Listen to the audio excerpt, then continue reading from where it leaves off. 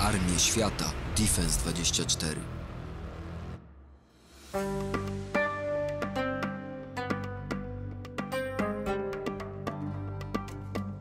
Położona na Bliskim Wschodzie Jordania graniczy od zachodu z Izraelem i autonomią palestyńską, z Syrią na północy i Arabią Saudyjską na południu i wschodzie. Posiada też krótką wschodnią granicę z Irakiem. Jak widać, praktycznie wszyscy jej sąsiedzi to kraje zaangażowane w konflikty zbrojne, wewnętrzne albo z przeciwnikiem z zewnątrz. Na tym tle państwo to wydaje się dzisiaj oazą spokoju, lecz biorąc pod uwagę niedawne i obecne wyzwania, musi ono utrzymywać liczące się siły zbrojne, zdolne do odstraszania, szybkiej reakcji w razie kryzysu, a nawet stoczenia pełnoskalowej wojny. Do niedawna wyzwaniem tym były kwestie palestyńskie, tym obecność setek tysięcy uchodźców z Palestyny, ale przede wszystkim sąsiedztwo targanej wojną domową Syrii i stworzonego na jej terytorium państwa islamskiego. Pomimo tych wszystkich wyzwań, Jordania pozostaje państwem stabilnym. Przyczynia się do tego autorytet króla Abdullaha II i jego dynastii, a także jednorodność narodowościowa i religijna kraju. Pomocne są także dobre stosunki ze światem zachodnim, w tym nawet poprawne z Izraelem. Współczesną Jordanię zamieszkuje 11,5 miliona ludzi, czego 97% to Arabowie i wyznawcy islamu. Ludność ta wypracowała produkt narodowy brutto rzędu 50 miliardów dolarów, z czego aż 6,5% Karta mundurowa. Program zniżek dla byłych i obecnych mundurowych. Dołącz już teraz. kartamundurowa.pl jest wydawana na obronność. W 2023 roku dało to sumę 2,6 miliarda dolarów. Niezbyt dużą jak na liczebność sił zbrojnych i wyzwania. Jordańczycy są jednak mistrzami pozyskiwania używanego sprzętu wojskowego z drugiej ręki i najwyraźniej potrafią gospodarować posiadanymi zasobami. W siłach zbrojnych Jordanii służy dzisiaj 100 tysięcy żołnierzy plus 15 tysięcy funkcjonariuszy żandarmerii i 8 tysięcy policjantów granicznych. Regularne siły zbrojne mogą też liczyć na 65 tysięcy przeszkolonej rezerwy. Siły te są uważane za jedne z najlepiej wyszkolonych i wyposażonych na całym Bliskim Wschodzie. Szczególnie wysoką renomą cieszą się wojska specjalne. Najwięcej jordańskich żołnierzy służy w wojskach lądowych, liczących 86 tysięcy ludzi, którzy w razie wojny mogą zostać wzmocnieni przez 60 tysięcy rezerwistów. Siły lądowe podlegają pod pięć dowództw.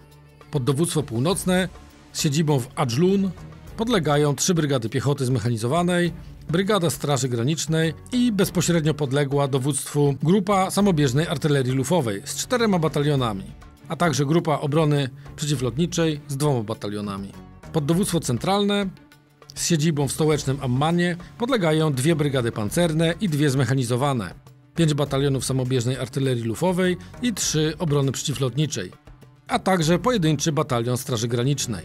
Pod dowództwo wschodnie z kolei z siedzibą w Al-Mafrak podlegają dwie brygady zmechanizowane, jedna straży granicznej, dwa bataliony artylerii, jeden moździerzy oraz dwa bataliony przeciwlotnicze. Natomiast pod dowództwo południowe z siedzibą w Ma'an podlega jedna brygada zmechanizowana, brygada straży granicznej i dwa bataliony przeciwlotnicze. Każde z czterech liniowych dowództw posiada bataliony wsparcia inżynieryjny i logistyczny. Do tego dochodzą grupy wsparcia medycznego, administracji transportu, serwisowa, łączności i centrum szkoleniowe. Typowa jordańska brygada posiada trzy bataliony piechoty zmechanizowanej bądź dwa zmechanizowane i jeden pancerny. Wyjątkiem są brygady pancerne, gdzie stosuje się po dwa bądź trzy bataliony pancerne i dwa bataliony piechoty zmotoryzowanej lub zmechanizowanej. Jak widać, siły lądowe Jordanii bardzo słabo obsadzają swoją pustynną granicę z Arabią Saudyjską. Za to szczególnie silnie obsadzona jest granica z Izraelem i Syrią. Oprócz tego w Ammanie znajduje się. Tak specjalne dowództwo Gwardii Królewskiej z dwiema elitarnymi brygadami, własnym centrum szkoleniowym i łączności. Pierwszą z nich jest Brygada Gwardii Królewskiej z pododdziałem wsparcia ogniowego i sześcioma grupami opartymi na piechocie zmotoryzowanej, odpowiadającymi prawdopodobnie pułkom lub batalionom, w tym Grupa Ochrony Króla, Grupa Gwardii Honorowej, Rozpoznawcza i Grupa Inżynieryjna. Druga z królewskich brygad to 30. Brygada Misji Specjalnych, posiadająca trzy bataliony operatorów i batalion przeciwlotniczy. Jakby mało było wszystkich oddziałów ceremonialnych, to dowództwo Gwardii Królewskiej posiada także konną jednostkę Królewskich Rycerzy Gwardii. Żołnierze podlegający specjalnemu królewskiemu dowództwu gwardii rekrutowani są spośród najwierniejszych plemion wobec panującej dynastii Haszymidów. Jordania posiada także samodzielną aeromobilną brygadę szybkiego reagowania z trzema batalionami piechoty, batalionem lekkiej artylerii oraz grupą wojsk specjalnych z trzema wyspecjalizowanymi batalionami. Ostatni element bojowy stanowi Korpus Artylerii Królewskiej, który poza rozbudowanym szkolnictwem posiada także dwa bataliony artylerii rakietowej, jeden ciągnionej artylerii lufowej i batalion moździerzy. Łącznie, jeżeli chodzi o główne jednostki, armia Jordanii posiada więc dwie brygady pancerne, osiem brygad piechoty zmechanizowanej, brygadę wojsk specjalnych, brygadę gwardii, brygadę szybkiego reagowania, trzy brygady straży granicznej oraz ekwiwalent czterech brygad artylerii i czterech brygad przeciwlotniczych, plus batalion inżynieryjny i batalion artylerii rakietowej. 15-tysięczna żandarmeria wojskowa podzielona jest z kolei na trzy regionalne dowództwa i posiada łącznie dwie jednostki specjalne oraz 10 liniowych batalionów. Poza bronią osobistą i lekką posiada ona ponad 50 starych pojazdów opancerzonych EE-11 Urutu i AT-105 Saxon, a także krajowej produkcji samochody opancerzone AB-2 Al-Jawad. W wojskach lądowych wykorzystywanych jest 266 czołgów, w tym 80 Challengerów 1 i 180 M60A3. Oprócz tego w magazynach znajduje się kolejnych 300 Challengerów 1, zmagazynowanych prawdopodobnie z uwagi na problemy logistyczne z wozami tego typu. Jordania jest bowiem ostatnim użytkownikiem tych maszyn na świecie i jest problem nawet z pozyskaniem do nich unikalnej rozdzielnej amunicji. Rozwiązaniem tego problemu jest pozyskanie 80 czołgów od Zjednoczonych Emiratów Arabskich. Są to francuskie wozy Leclerc, które Emiraty po prostu Jordanii sprezentowały. Zastąpią one Challengery 1 w służbie czynnej w stosunku 1 za 1. Do bitwy pancernej Jordańczycy mogą wykorzystać także około 90 kołowych wozów Centauro B1 plus 60 zmagazynowanych i 115 rakietowych niszczycieli czołgów na podwoziach M113, 70 M901 i 45 AIFV-B Milan. Jordańska piechota wykorzystuje przede wszystkim transportery opancerzone z rodziny M113, których jest łącznie 730. Są to wozy M113, M577 i YPR 765 PRCO. Do tego dochodzi 400 bojowych wozów piechoty, z czego przygniatająca większość także bazuje na M113 i są to YPR 765 PRI. Wyjątek stanowi 50 niemieckich wozów Marder. Jordańska piechota wykorzystuje także mrapy w łącznej liczbie 240 sztuk. Maszyny tej klasy są wykorzystywane w jednej z brygad pancernych całkowicie, a także w pomniejszych pododdziałach. Jordańczycy wykorzystują krajowej produkcji mrapy Al-Wash, 44 arabskiej produkcji wozy Nomad, 50 Matadorów i Marauderów produkcji RPA i spadek po wojnie z terroryzmem, czyli 80 Kugarów i 100 Max Pro. W skład artylerii lufowej wchodzi nieco ponad 500 sztuk artylerii samobieżnej, w tym 360 wozów M109A1 i A2 Paladin i 150 starszych 203 mm dział M110A2.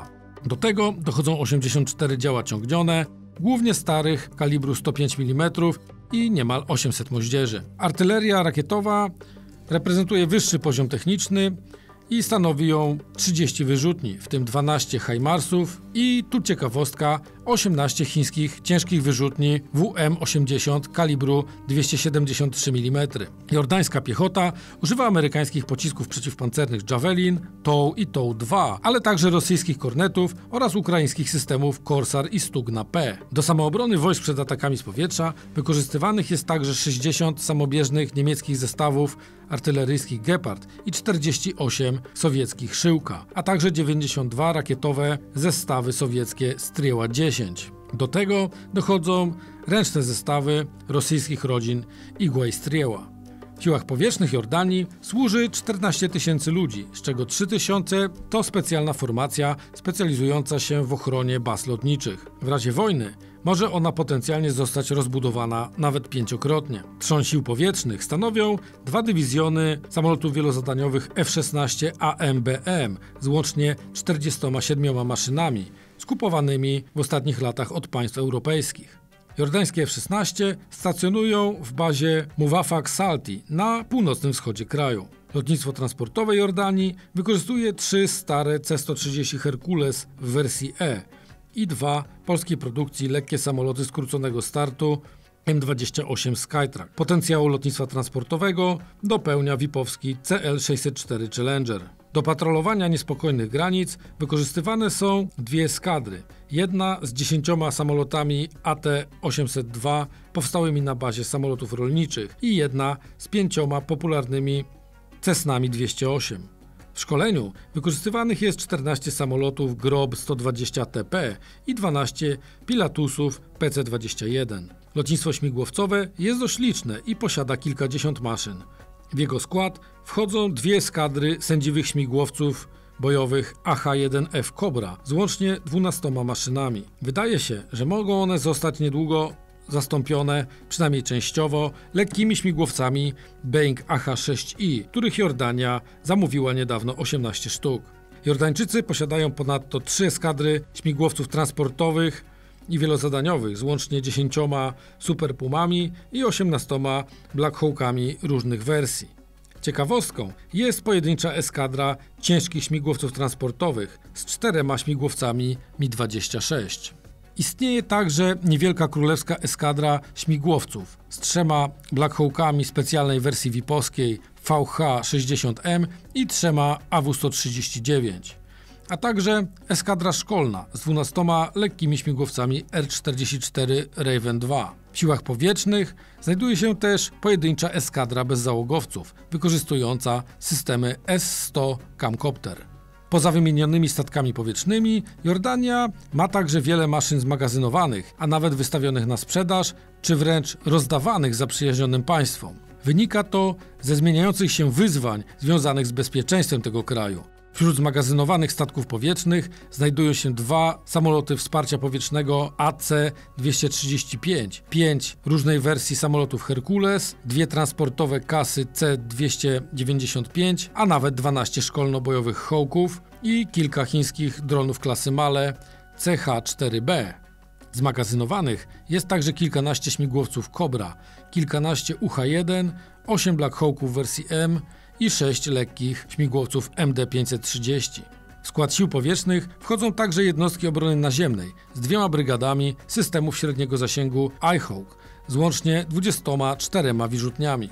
Do obrony lotnisk wykorzystuje się też 22 armaty L-70 naprowadzane radarami Flycatcher. Jordania posiada także rzeczną marynarkę wojenną, w której służy łącznie około 500 marynarzy. Obsadzają oni dwie większe i siedem mniejszych łodzi patrolowych uzbrojonych w broń maszynową, a także wchodzą w skład niewielkiego oddziału piechoty morskiej. Jak widać, jak na swoje możliwości finansowe i demograficzne, Jordania posiada relatywnie duże i dobrze wyposażone oraz wyszkolone siły zbrojne. Takie, których mógłby pozazdrościć Jordanii sąsiedni Irak czy zniszczona wojną domową Syria. Udało się tego dokonać dzięki aktywnym zabiegom mającym na celu okazyjne pozyskiwanie broni, a także przyjmowanie pomocy wojskowej od zaprzyjaźnionych krajów, w tym Zjednoczonych Emiratów Arabskich, ale także Izraela czy USA. Biorąc pod uwagę współczesne wyzwania w regionie, inwestycje w bezpieczeństwo i poszukiwanie alternatywnych źródeł wzmacniania sił zbrojnych są jednak niezbędne i z pewnością proces ten będzie kontynuowany w kolejnych latach.